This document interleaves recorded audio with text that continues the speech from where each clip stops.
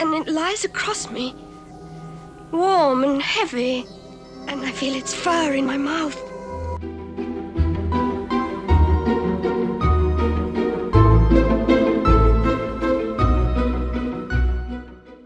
Hi, and welcome back to Terry Talks Movies, and I am doing some Hammer horror this time around. By the way, if you're wondering, these things are skulls. I've been requested to do these three movies, so I, I watched them and I enjoyed them more or less, and I'm going to review them. So let's get started. I'm going to do these in reverse order. They're called the Karnstein Trilogy, and they're based on an 1872 novel by uh, uh, Joseph Sheridan Le Fanu called Carmilla which is about a lesbian vampire. And for 1872, that's a big, big, forward looking piece of work. And I want to do them in reverse order the newest one first and then the other two because I think we need to end on the high note. And the other thing I'm going to do, which is totally unrelated to the movies, is tell you a story about what happened when I was working in Canberra, our nation's capital, once upon a time and I scared a whole bunch of politicians. So stick around for that. The 1970s were a tough decade for Hammer Films. They ended up making their last movie in 1976 to The Devil a Daughter, uh, until their reboots at various times since then. But the Hammer that we know from the classic movies finished up with that. So Hammer was going through a few rough times in the 70s in the late 60s, they didn't really adapt to the changes in the B movie exploitation movie market, which was largely driven by small cinemas and the drive in movie theaters in America. And so their business partners in America, American International Pictures, started to encourage them to make some more adult content not in the sense of blood and guts, but in the sense of female nudity. Dusty substances. So Hammer made the Karnstein trilogy, which leaned into that aesthetic more than any other films that Hammer really did. So we'll start with the third one, which was directed by John Hough, a director who had a long career. He made Biggles in 1986. He made Return to Witch Mountain in 1978, which people remember fondly. Uh, Dirty Mary Crazy Larry, he directed that as well, but he also directed Twins of Evil. I don't have a physical copy of Twins of Evil, which I should remedy for the Hammer Film Collection. But uh, the movie's got a fairly good cast in parts and a fairly ordinary cast in other parts. It stars Peter Cushing as Gustav Wahl, a religious man in Styria in the 1700s who has a really repugnant side hustle in that he is a witch hunter he finds women who he thinks are witches and burns them at the stake along with a whole bunch of other people who are there to carry the pitchforks and the torches. Not a nice man. Interesting thing is his wife's played by an actress who had a great career in British cinema, Kathleen Byron. You might remember her as the nun who goes mad in Powell and Pressburger's Black Narcissus. If you haven't seen that movie, you should really check it out as well. But in the 1970s, she was doing lesser roles, even though she was an incredibly good actress. And she gets to play the kind of wife to a mad bastard, really, played by Peter Cushing. And he does a really nice job of it. He had that kind of aesthetic look about him, uh, that gauntness really played well into the character. Gustav and, and Katie have nieces called Maria and Frida, played by Mary and Madeline Collinson who were best known previous to this movie for doing a Playboy magazine centerfold together in the 1970s. The supporting cast got a few people you might know in it as well. David Warbeck, who made a few movies in Italy as well. Um, Harvey Hall, who turned up in a whole bunch of Hammer films and became a very familiar face in the 1970s in Hammer. And Dennis Price, a really fine actor who unfortunately had a few problems. He had some tax problems, he had some problems with alcohol. But getting back to the movie, one of the twins is a bit naughty. Frida is fascinated with Count Karnstein, who has a reputation for being a wicked man. He has the ear of the Emperor, he's got a lot of clout, and he is also a vampire. And he turns Frida into a vampire while her good sister Maria stays pure and nice. Maria takes a liking to a local school teacher, a guy called Anton, played by David Warbeck, and they kind of have the start of a, a much less bloody relationship, let's say. So Frida attacks somebody and she's caught by her uncle and put into a prison cell. And the count arranges for Frida to be replaced by Maria. And therefore, Maria is uh, for the chop. She's going to be burnt at the stake because everybody thinks that she's her twin sister. Doesn't turn out like that. Everything turns out okay in the end. Peter Cushing's character gets his comeuppance, and the movie folds into the usual kind of hammer ending. For me, it's the least of the three Karnstein movies because even though it does have Peter Cushing, even though it does have Kathleen Byron and Dennis Price and, and other interesting actors in it, I don't think it leans into the general concept that the original novel Carmilla has. It's a kind of lesser sequel in the same way that all of those Planet of the Apes movies had diminishing returns in the 1970s. Didn't really do it for me. But it does have a couple of things that I, I like. It has a, a nice scene at the end where the Count disintegrates into a corrupt corpse.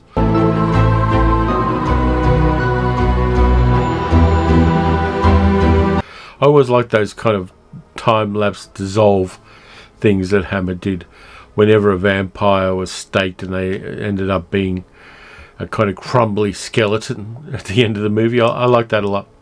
But for the most part, this one really didn't do it for me, which is a bit of a shame. Um, it probably would have done it for me at the time I watched it originally, because it does have a soupçon of nudity in it, less than the other two. It just didn't feel like they were going hammer and tongs in the usual over the top hammer way.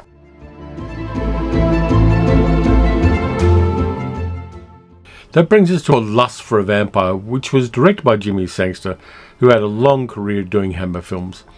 He was actually replacing Terence Fisher at very short notice, but uh, I like what he did with this movie, even though the whole concept of Lust for a Vampire is batshit crazy. According to Wikipedia, the British Board of Film Classification clamped down a bit on Hammer doing overtly lesbian scenes in their vampire movies. So both Twins of Evil and Lust for a Vampire have less sapphic content than the first one did. Now I'm going to talk about that one last because I like the first movie, The Vampire Lovers, a lot more than I like the other two.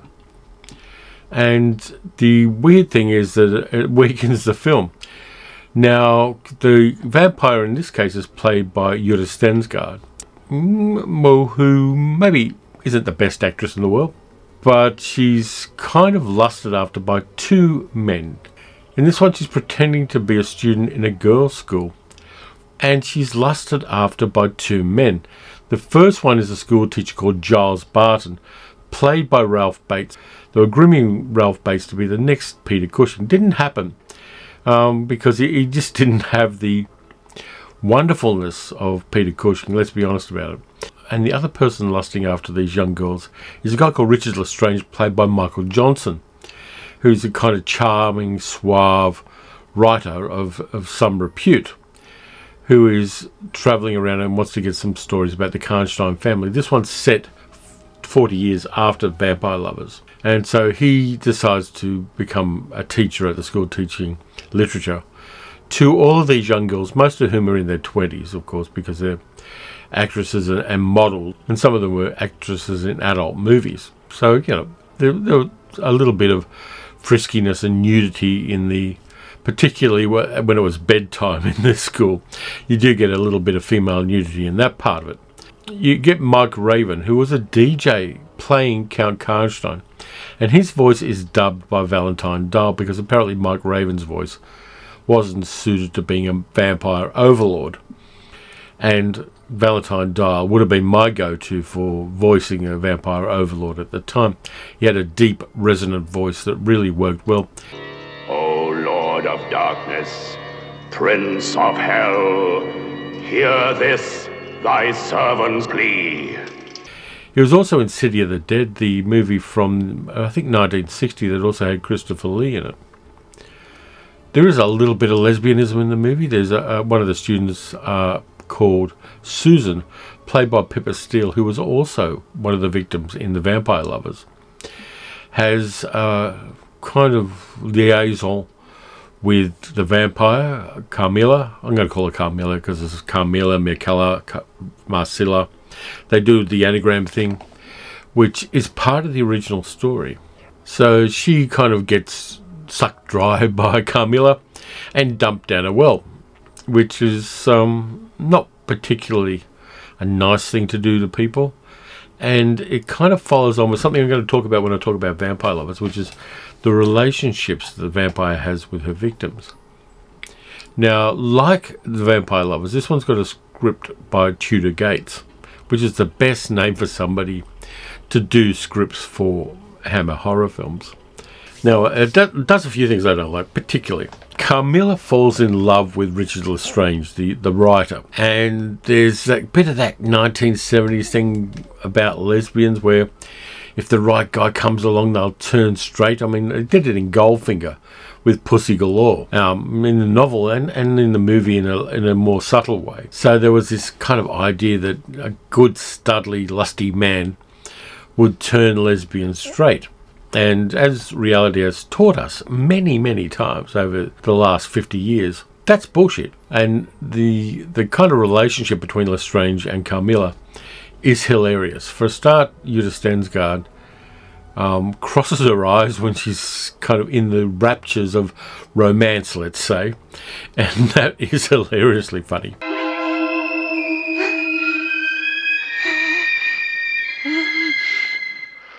Plus, there's a really bad song done in the montage of them making love called Strange Love. And it is probably the worst piece of music from the 1970s, apart from ABBA. It's, uh, it's hilariously bad, and you can enjoy it in an unironic, what the hell kind of way. We also get Harvey Hall again playing a police inspector who investigates the missing girl, Susan. And uh, Harvey Hall gets taken care of in a very interesting way, which is nicely suspenseful as well.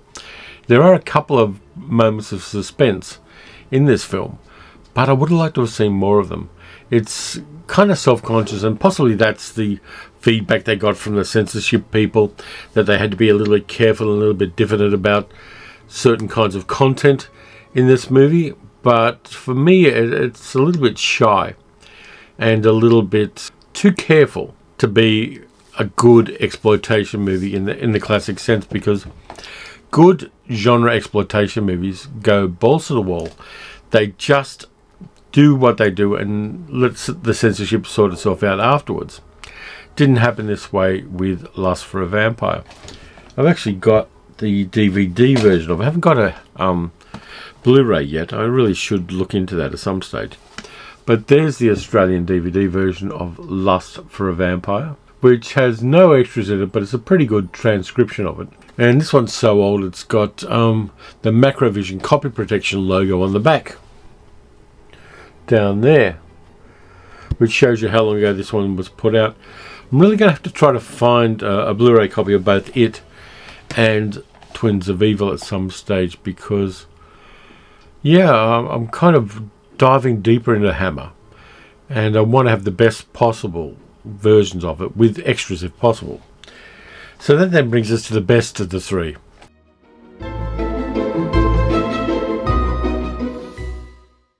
The Vampire Lovers, directed by Roy Ward Baker.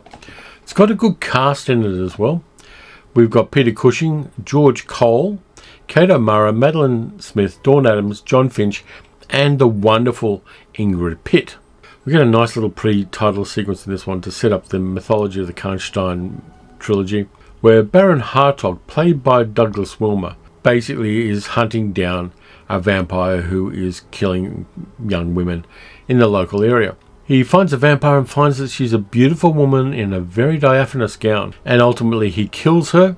And then we cut to a few decades later in 1790, and a party held by General Spielsdorf, played by Peter Cushing, who is holding a party for his niece Laura, who has just come of age, and so it's a kind of coming out ball. There's lots of people dancing around. She's enamored of a young man in the local district, played by John Finch. Now, a baroness turns up at the party, played by Dawn Addams, who is brought along her niece, Carmilla, played by Ingrid Pitt. The Baroness kind of fakes General Spielsdorf out by faking uh, a dying relative, and she has to travel to visit the dying relative, and leaves her niece behind because her niece and Laura have bonded. As time moves on, Laura weakens and, and starts dying because, of course, she's being seduced and sucked dry by Carmilla. There seems to be a genuine fondness between Carmilla and the young woman. She really is genuinely fond of her, and of course, there is the lustful lesbian aspect of that as well, which was a real problem for the censors. John Trevelyan, the main censor, had big concerns about the lesbian aspects of the vampire lovers because he'd had trouble with the killing of Sister George in the previous year, and so he was really concerned and he wrote to Hammer expressing those concerns that they were planning to make a version of Carmilla, the original story. And Hammer quite wisely wrote back to John Trevelyan and said, The lesbianism is innate in the story, it's in the original source material, and we're going to progress with it anyway because it is intrinsic to the story. And Trevelyan went, Okay. So the chief censor of the UK got the nod for this one, even though the censors who followed him when the other two movies were being made were a lot more hands on against that lesbian aspect in the Karnstein trilogy. And the Baroness tries the trick again with a, guy called Mr. Morton, played by George Cole, who has a young niece, Emma, played by Madeline Smith. Now, George Cole's an interesting actor. I remember him first playing Flash Harry, the local bookmaker in the St Trinian's comedies in the early, in the late 50s and early 1960s and I liked him in that. In the 1970s, he was very successful in a TV series called Minder with Dennis Waterman, where he played a dodgy salesman and businessman called Arthur Daly. But this is in between those two, and his Mr. Morton is kind of a, a, slightly sleazy character. His daughter has a governess, played by Kate O'Mara, called Madame Perrodot, and there's a little bit of an implication that Madame Perrodot is having a relationship with Mr. Morton. So Carmilla the vampire goes and, and stays with Emma.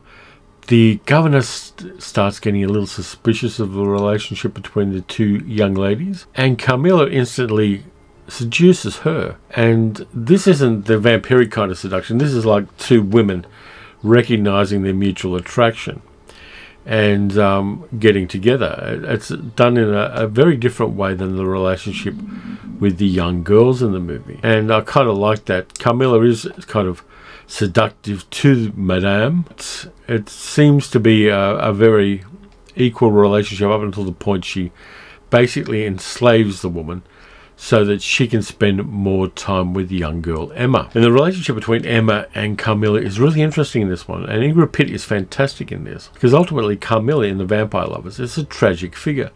She genuinely falls in love with these women that she's sucking dry. And the tragedy is that she falls in love with these young women, and because of her nature, she drains them until they die, and so she can never find happiness. And I like that aspect of it. It's played quite well by Ingrid Pitt, who was, I think, a better actress than she was ever given credit for and ever given roles for. She was very good in the movie she did after this, Countess Dracula, which was for Hammer as well. They offered her Lust for a Vampire, which she knocked back, and then she took up Countess Dracula, which gave her a more nuanced role. And that one's an interesting film too. It's got interesting actors in it like Nigel Green. The really interesting part of this is that the men are very much secondary characters in this story. The focus is, for the most part in this movie, on the female characters which is not something that Hammer did a lot, and it's not something that horror cinema did a lot as well. It's a really nuanced horror movie which isn't particularly pejorative to same sex attraction among women. And I like that. I think it play, makes the movie play really well to a modern audience, except incels. Uh, yeah, and, and at the time I first saw Vampire Lovers, I saw it very much differently than I see it now. For me, it was all about the nudity and, and the kind of sauciness of it. Seeing it in a more mature age has given me an appreciation of the movie that's different but no less strong. I, I like the fact that we've got a vampire who is nuanced and not just kind of there to prey on people. You know, not is not just an ambush predator in that sense. And Carmilla is played by Ingrid Pitt, gives us a character that you can understand why people are seduced by her, and you can also understand why she ultimately is a tragic figure. Know, this isn't the first adaptation of Le Fanu's story. Carl Dreyer's movie Vampyr is an adaptation of Carmilla, but they took out all the lesbian sexuality. Uh, you got a little bit of it in Dracula's Daughter in 1936 as well, which is a really interesting film and want to revisit at some stage. Roger Vadim did a version of it as Blood and Roses in 1960. And in 1972 there was another adaptation of it as well, The Blood Splattered Bride, which starred Alexandra Bastedo which was done, I think, uh, in Spain. So it's, it's, a story that's going to be told often, um, in the same way that Dracula is told often. It's in the public domain for a start, so anybody can tell the story. If I'm looking for the most impactful version of the story, it's definitely got to be The Vampire Lovers. I think it, it stays true to the plot of the original, though the ending is a little more prosaic than the ending of the story, which I'm not going to spoil read the story. It's become one of the best vampire movies that Hammer ever did. But for me, the first one is definitely the best. But rewatching the three, I enjoyed the experience. I watched them sequentially from Vampire Lovers to Lust for a Vampire to Twins of Evil. In a modern age, it would have been done very differently. I think there would have been more closeness to the continuity between the three. But this is 1970s, and that wasn't particularly a concern for a studio that was trying to save itself from drowning. But anyway, I'm going to tell you that story now about how I scared a bunch of politicians in Canberra. It was the 1980s and I'd moved to Canberra fairly recently. I got a job with the Australian Capital Territory Department of Sport, Recreation and Racing. We were organising events for, you know, to keep kids active and sporting events and, and public events in the nation's capital. And part of my job was to be a mascot for a program called Life Be In It which was a national program to encourage people to eat well, to exercise, and to wear sunscreen in the summertime, all sorts of things like that. And the mascot was a character called Norm, who was a slob.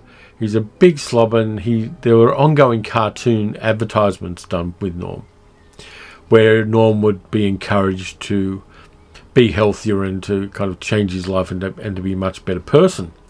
So they had this costume and it had an enormous paper mache head had big floppy feet. At various public events, I got to be Norm in this mascot costume. So Life Be It was running a fun run for charity. And they were encouraging people to be part of the fun run. And to do that, they did a promotional event the day before the fun run was supposed to start, where they got a whole bunch of ACT and national politicians around. There was three or four of them. It was a really cold winter morning and they're all wearing hoodies that we provided with the logos on them for the fun run and for Life being It. And they're standing around and they were going to watch Norm shoot the starting pistol, and then a bunch of people were going to start a fun run so they could catch a bit of it for the cameras and for the press photographers. So we're there, and you know, the politicians are drinking coffee, and I can't drink coffee because I've got this enormous paper mache head on, and I can't see very well out of it. And so somebody hands me the starting pistol and tells me what I've got to do, and I, I go, okay, yeah, let's do it. And it's about three minutes before we're about to start, and they're getting all the cameras lined up and everything. And nobody told me that this starting pistol had a hair trigger, and I mean a really hair trigger. Touch the trigger, it would go off. And so all these politicians are standing around in white hoodies with cups of coffee there. And I touch the trigger, and the pistol goes off really loudly and all the politicians go ah, and pour coffee all over themselves. And these are white hoodies, so they're all coffee stained. We had to find new hoodies for them. It was a mess. The politicians thought it was an assassination attempt, and all sorts of you know everybody was shit scared and, and terrified until they realised what happened. And they took the pistol away from me until right at the very last moment where I could do the thing. And I got in trouble for it. And um, we're talking about quite high politicians. The leader of the Senate, the upper house of our federal parliament. Senator Margaret Reid was there. and She poured coffee on herself. A couple of Labor politicians. are. yeah, it's uh, it was an interesting time in my life, and so nobody should ever hand me a starting pistol again. It's the wrong thing to do, and it's going to end in chaos. So that's the story. Anyway, if you enjoyed the video, please like, subscribe, and leave a comment. You can also support the channel by donating a little bit each month at patreon.com slash paleocinema. Got a few more video ideas I'm going to be doing in a few more videos. maybe check out the Halloween horror playlist I've got on the channel as well.